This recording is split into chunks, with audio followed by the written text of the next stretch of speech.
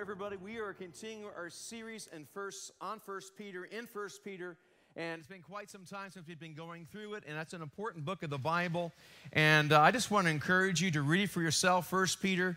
We have about two weeks left in it, and, uh, and then we're going to be doing a new series, which I'm really excited about. But I want to encourage you to get into the Bible, and this is what we do. We like going through. Uh, books of the Bible together, reading line by line, verse by verse, and that's what we've been doing through this series.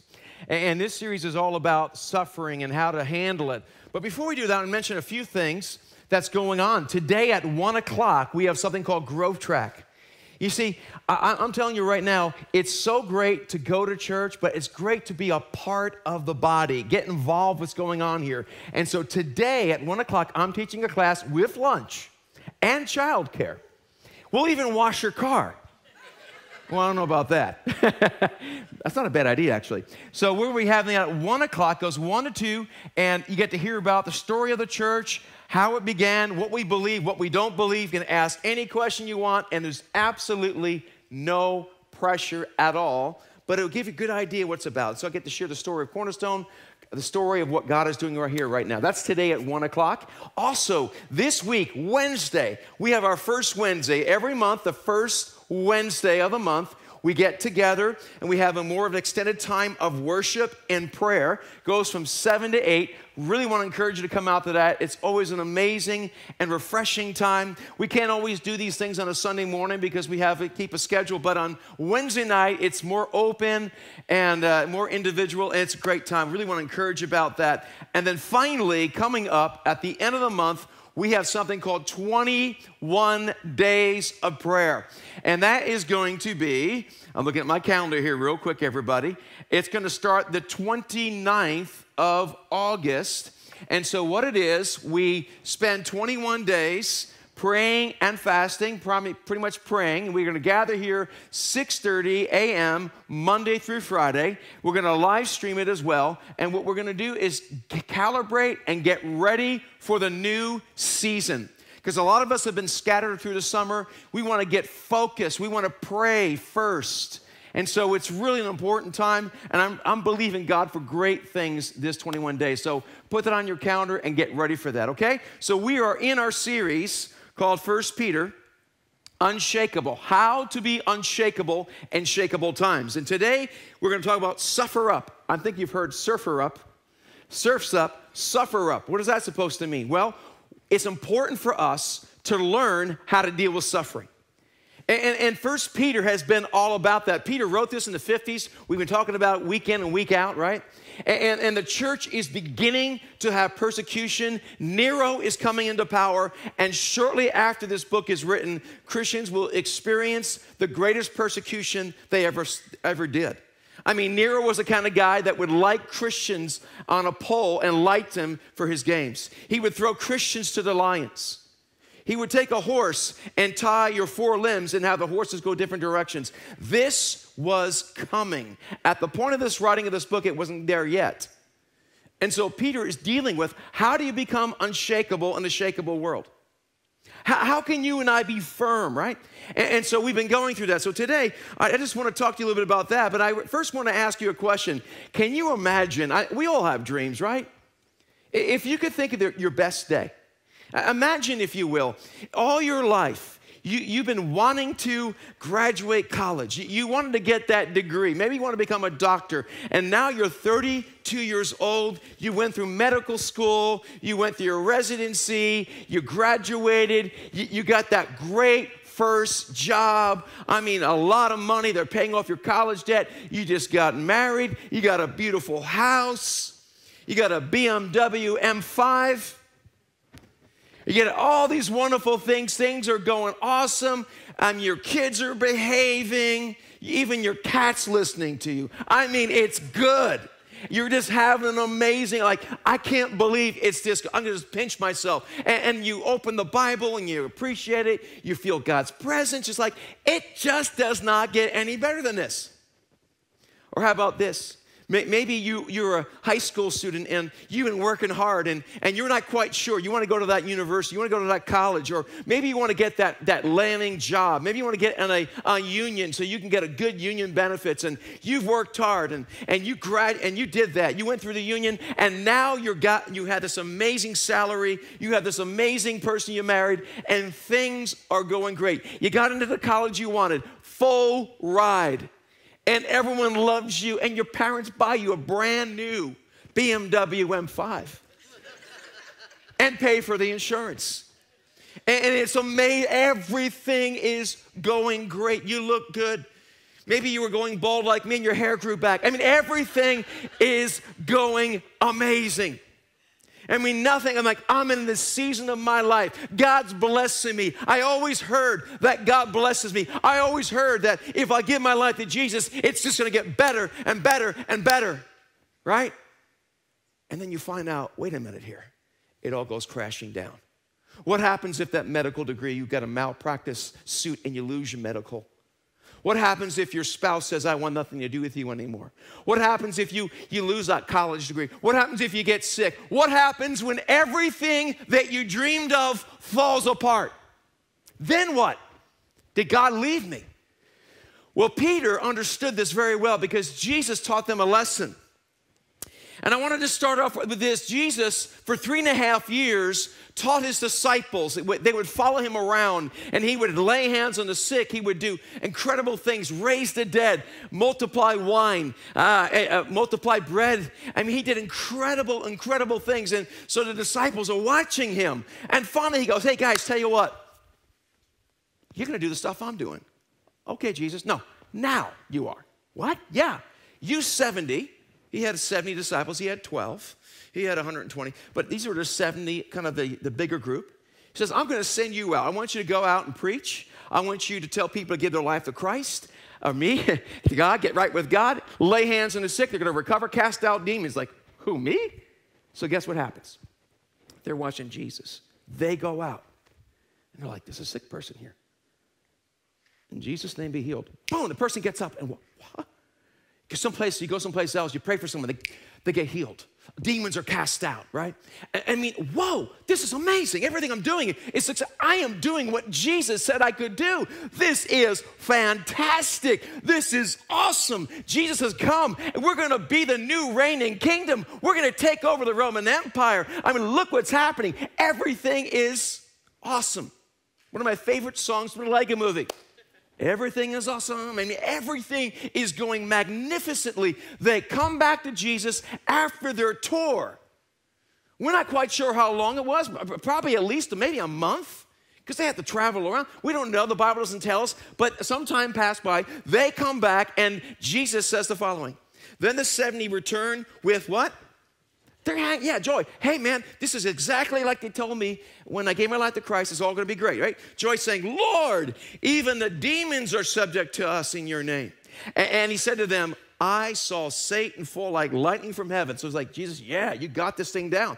And we go on and on and on. Behold, he says, I give you authority to trample on serpents and scorpions. Yeah, thank you, Jesus. We're, on a winning team. We're going to the World Series of, of Christianity, right?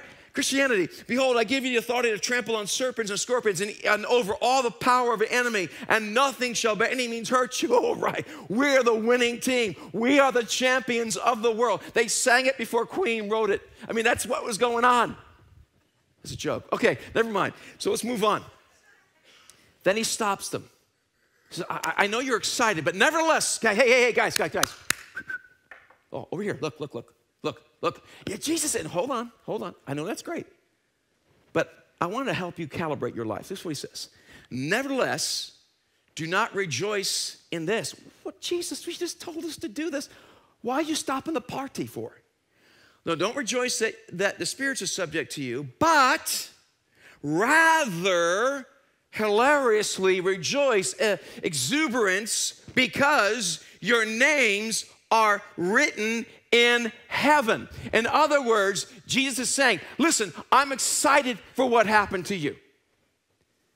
But you can't base your happiness based upon circumstantial evidence. You, can appreciate it. You can thank God for that new job. You can thank God for that, that, that child. You can thank God for that, whatever you're going through. But, but don't base it, or you can thank God for a church that's doing well before they tell you to close down. Uh, I mean, you can thank God for tremendous things. But don't base your happiness and your rejoicing on circumstantial evidence, circumstances. Why would he say such a thing? Because Jesus knew that out of those 70, and especially those 12, all of them would be martyred except one, John, who the church tradition says he was boiled in oil. Probably worse. And, and he knew that there were going to be times where the prison doors would not open. There would be times, like the Apostle Paul says, I asked God three times, the thorn in my flesh, and the thorn's still there. What's going to happen when Paul leaves Demas sick and he prays for Demas and Demas doesn't get better? What happens when everything you thought was supposed to happen doesn't happen? What happens when it all comes crashing down? Jesus is setting his disciples up to calibrate themselves, not to rejoice in circumstances, but rejoice in who they are in heaven. Now, listen, if you're going to build a house, you need a good foundation. If you're building upon how things are going, good luck, everybody. What you're doing is you're building on faulty foundation. What we have to do is we have to build our hope and our joy on who we are in Christ Jesus. If you've given your life to Jesus Christ, if you've um, sacrificed your life to Him, so God, I'm giving you everything, then what you do is you build upon the foundation that cannot be shaken. Like I told you before, the MC Hammer 317 says, You can't touch this. Why? Because Jesus did it for us. You stand on that okay? No matter what happens. Now, when good things take place, you still rejoice, but you build that rejoicing on your position in Christ in heaven. Then you build that structure. So if this structure goes down, you still got this. Are you, are you, are you tracking with me today? One of the most important things, yeah, come on. Yes. So, one of the things I say all the time here at Cornerstone Church, I coined the phrase, I guess I did, so I get to get royalties from it. I'm just kidding. The best days are always ahead for those in Christ Jesus. If you want to go ahead and text that or Instagram, go ahead after the service. But the best days are always ahead for those in Christ Jesus. I'm telling you right now, we've been through some things in our church and our staff, some difficult days, okay? Some real difficult days recently was one of the people in our church. Their mother died way before her time from COVID in Colombia and we prayed.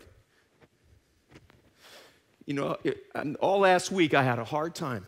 I'm God, I, I, the whole week I was, I was mourning for what took place. But we have to rejoice in hope.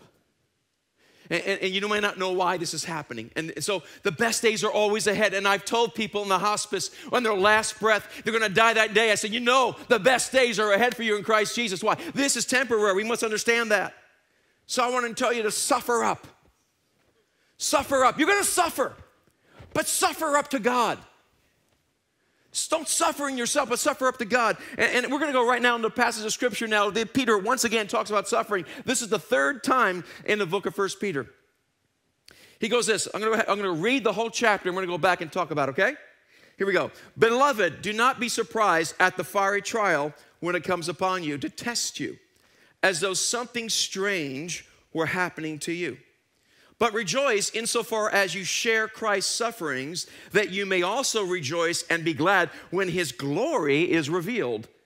If you are insulted for the name of Christ, you are blessed because the Spirit of glory and God rests upon you.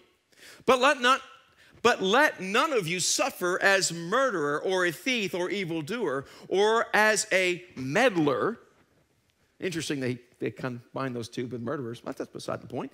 Yet if anyone suffers as, as a Christian, let him not be ashamed, but let him glorify or her glorify in that name.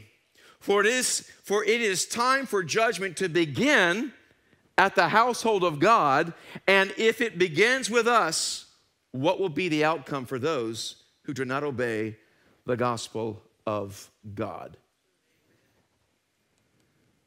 And if the righteous is scarcely saved, what will become of the ungodly and the sinner? Therefore, let those who suffer according to God's will entrust their souls to the faithful Creator while doing good. Now, those are some very sobering verses, right? Well, we're going to look through them today, okay? First thing we have to understand is this what not to do when you're suffering. Don't be surprised, it's going to happen. No, don't be a pessimist. Don't be an Eeyore. Well, I guess, you know, Charlie Brown, or not Charlie Brown, uh, Winnie, it's just going to be bad. And so, you know, no, I'm not talking about that. We don't set ourselves for failure. But when it happens, don't be surprised. You don't need to focus on it, focus on what's good. Don't be surprised. You know, beloved, do not be surprised when the fiery, we're going to get to that in a few moments, that means a lot of heat and difficulty, fiery trial when it comes. Don't be surprised. Jesus said it. In this world, you're going to have what? That's right, but, but rejoice, I've overcome. So don't be surprised. Just because you gave your life to Jesus does not mean you have a hall pass from all suffering. So do, do not be surprised at the fiery trial when it comes upon you to test you as though something strange happened to you. In 2 Timothy, Apostle Paul gives us another promise that Jesus told us. Yes, and all, look at your neighbor say, You're an all. Okay. How dare you say that? Okay. Yes, all who desire to live godly in Christ Jesus will suffer persecution. Now, this is about persecution. 80% of the world, according to the Human Rights um, Foundation, says 80% of the suffering in the world from religious is against Christians. I'm hearing stories of people being rounded up and shot. Number one place in the world for pers- Christian persecution is North Korea. I don't have time to tell you all the stories, but if I told you, you wouldn't be, you'd be flabbergasted. The amount of suffering, the beheadings, all these things that are going around in the world. Yes, and all who desire to live godly in Christ Jesus will suffer persecution. In Mark 10 29, this is what Jesus says, and listen to this. Jesus said, Truly I say to you, there is no one who has left house or brother or sister or mother or father or children or lands. Now, this is not saying that you leave your family because you don't like them. I'm talking about if you're being persecuted for serving God, okay? For my sake and for the gospel, who will not receive what? A hundredfold. This blows me away. A hundredfold now? Really?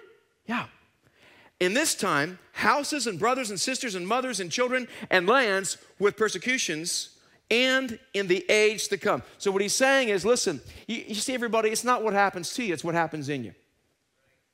And so, if you have the peace of God inside of you, it doesn't make a difference what happens on the outside. And that's what we have to understand. The climate of heaven we need to cultivate. That's why we come to church. That's why it says, do not forsake the gathering together. That's why I tell you it's good to get back in the room, to worship together, to cultivate that faith, to help each other. The Bible says, pray for one another, right? We're called to do that. So what do we have to do? We're going to have it now, a hundredfold now, that you're going to, you can overcome your circumstances. They don't have to control you. But a hundredfold now in eternal life. I mean, listen, when you know where you're going, and the best days are ahead. That's a blessing. So many of the people in the world are anxious. They don't know what's ahead. They don't know what's going to happen when you die. We know who we are in Christ. That's part of the hundredfold. Now back to 1 Peter again. 1 Peter 4:12. Beloved, do not be surprised at the fiery trial when it comes upon you to test you as though something strange was happening to you. What to do when suffering? Rejoice. What? Come on. Yeah, rejoice. Yeah, you rejoice. You can rejoice in pain. The Apostle Paul says, struck down but not destroyed, always giving grace to God. So you can rejoice in that. It doesn't mean you're not dealing with reality, but you can rejoice in pain.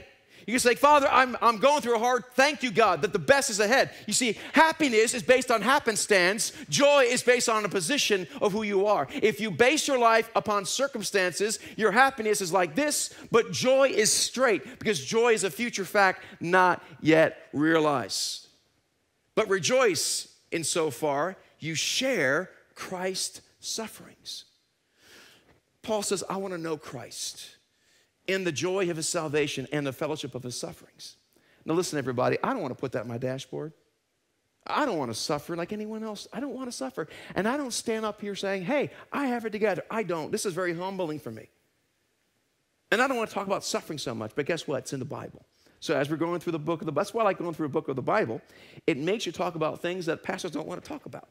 It's hard to grow a church, talk about suffering. Wait, where you go? What's happening? Where you learn church? How to suffer? How to have a supper? No. How to suffer? No, thank you. Right? Who wants to hear about that? But guess what? Suffering is a part of life, and we better learn how to deal with it in the proper, proper way. So, as you share Christ's suffering, that you may also rejoice and be glad when his glory is revealed. And so it's about God. Jesus says, I've overcome the world. And since he overcame the world, we overcome. We're more than conquerors through Christ Jesus. You see, in this you rejoice. We go back to First Peter in the beginning of the, book, he talked about this. In this you rejoice, so now for a little while, say a little while, if necessary, you have been grieved by various trials, so that the tested genuineness of your faith. The word test in the Greek there can be used in two different ways an actual test and another way for purifying. The context is quite clear it's about purifying. More precious than gold that perishes, though it is tested by fire. How many of you felt like you went through fire last year? Whew. Yeah, right? May be found to result in praise and glory and honor at the revelation of Jesus Christ. You know what they do? And in order to, to take gold, what they would do is they would melt gold and precious metal. And as they melt it, this is what happens is the impurities begin to rise to the top. However, it cannot happen until there's a fiery trial.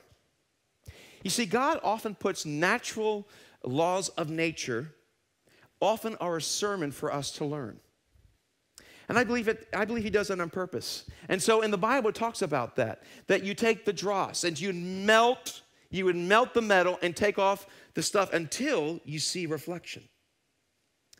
And so let the fire refine you so that God can see his reflection in your life. You see, I have dross. I had dross last night. I got a little spat with my wife. I was being stupid, right? The Lord's like, You got some more dross. It was over nothing, by the way. Honey, I'm sorry for that. Can I just be real with you? You, you want some fake pastor up here, everybody, that has it all together? I'm just not that kind of guy. I'm real. I, I, I struggle like the rest of you guys. But guess what? We ask for forgiveness, we move on, and the dross keeps coming up. Praise the Lord. I had to take it off. Especially happens when you're late at night, you're tired, right? I'm going to take it up. And, and you know what? And I take responsibility because I'm the high priest of the house. Hello. Okay, for another time. So, what has to happen is you want to see, God wants to see his face in you. So, he'll let the fire come. Now, he doesn't always cause these things, but he uses it for his glory and his good. And so that's what fire can do. Let fire make you better, not bitter. That's what we want to be able to do. If you are insulted for the name of Christ, you are blessed. What? Yeah, uh, because the Spirit of glory and the God rests upon you. Let's be honest, everybody. We think we have persecution. We don't know what we're talking about. Compared to other places of the world, we have it pretty darn good. It's starting to rise, by the way.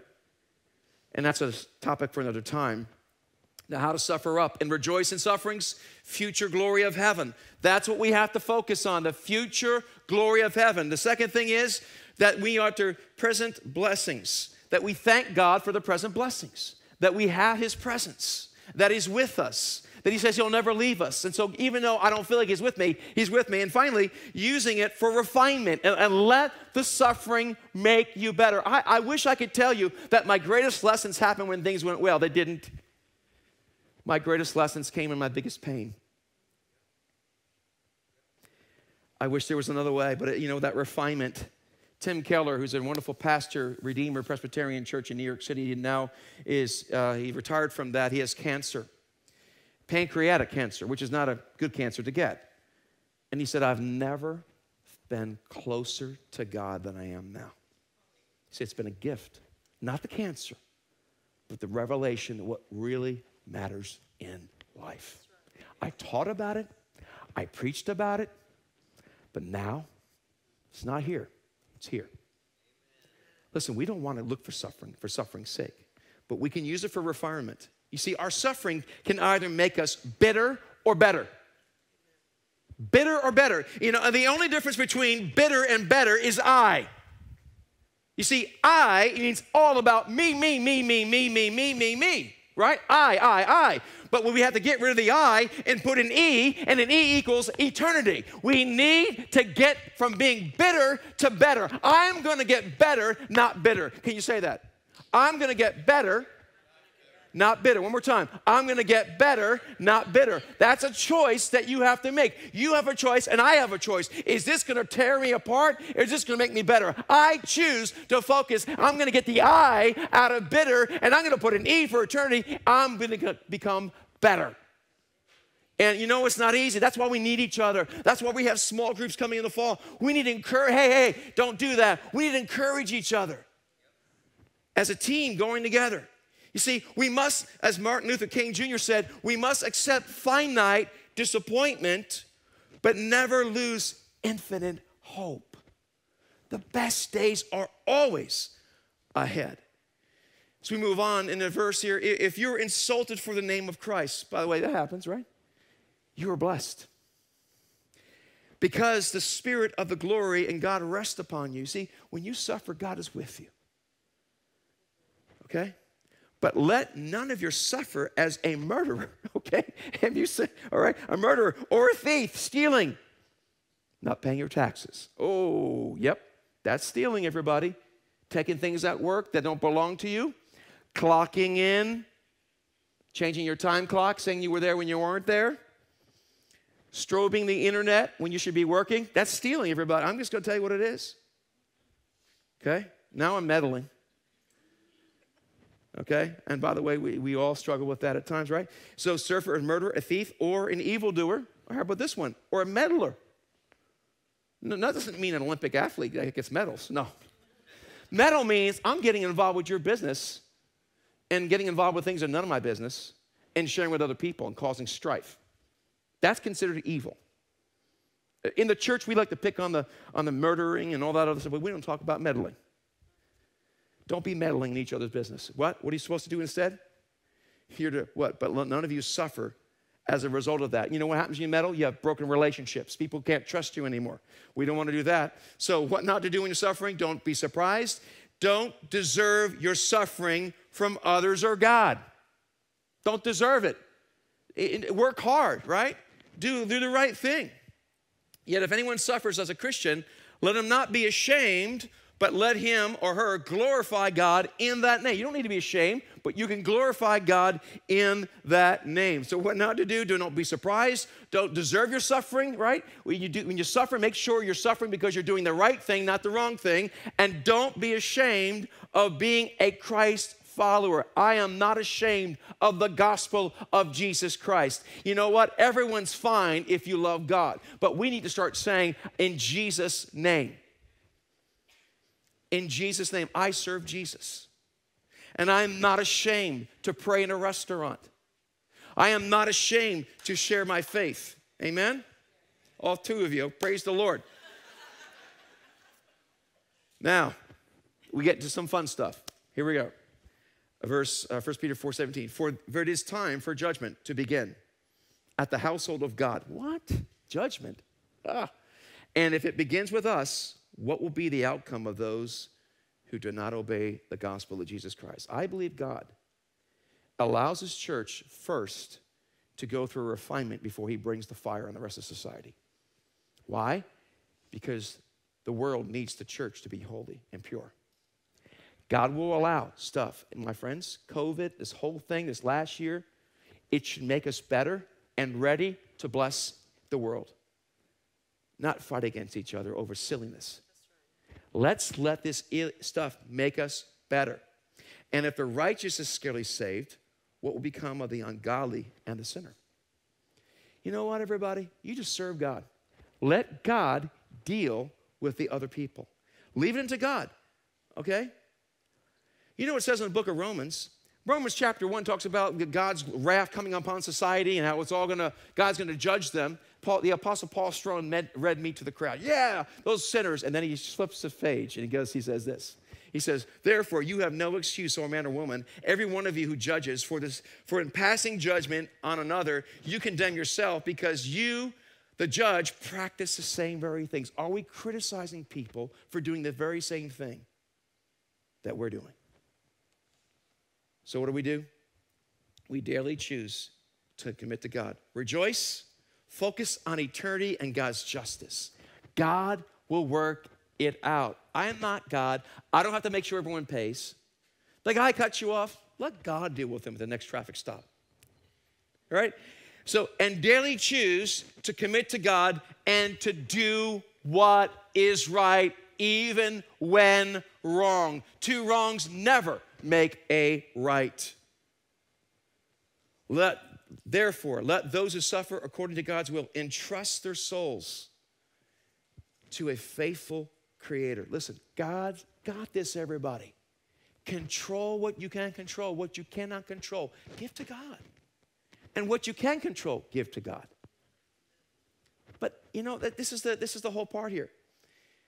The serenity prayer. Lord, help me to, to, to change what I can change and what I can't to know the difference, right? I'm paraphrasing.